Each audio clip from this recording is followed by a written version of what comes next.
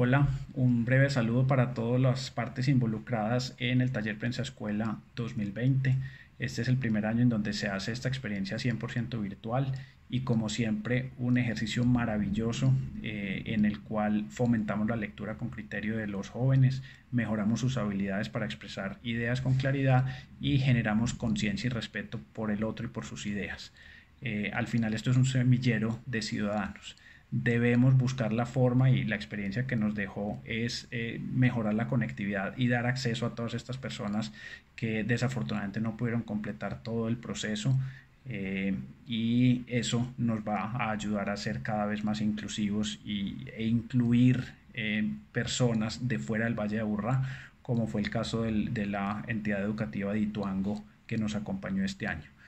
48 participantes completaron el proceso, felicitaciones a todos ellos, 19 instituciones educativas entre públicas y privadas, eh, a los talleristas un agradecimiento, en total 14 de las eh, facultades de comunicación social, periodismo y educación y pedagogía de nuestros aliados de toda la vida, la Universidad Pontificia Bolivariana y la Universidad de San Buenaventura. Muchas gracias a todos ustedes. Estamos convencidos que esta experiencia fue enriquecedora también para ustedes y les agradecemos el haber eh, dado de su tiempo y compartir su conocimiento con estos jóvenes para finalmente fortalecer la democracia y las habilidades de estas personas.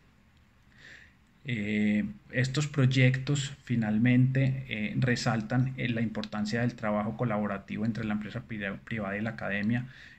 no solamente con, con, la San Buenaventura y la Bolivariana hemos hecho este ejercicio de los eh, talleres prensa escuela, sino que también múltiples investigaciones que nos ha permitido generar conocimiento para mejorar los talleres, pero también para la comunidad en general.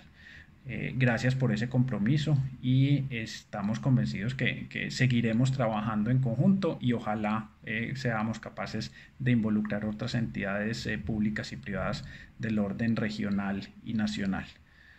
la humanidad está pasando por momentos muy difíciles y estos talleres pues definitivamente nos ofrecieron la posibilidad de acompañar a los jóvenes con tiempo de calidad y mejorando y obteniendo como resultado final unos mejores ciudadanos. En nombre del colombiano, un agradecimiento a todas las personas participantes, eh, Clarita, por todo el esfuerzo pues, que año tras año pone para sacar adelante esta iniciativa, un, agradecimiento infinito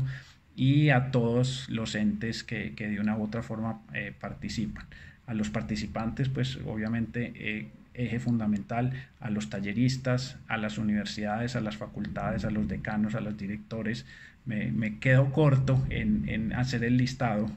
Muchas gracias porque sin ustedes pues este, este evento no sería posible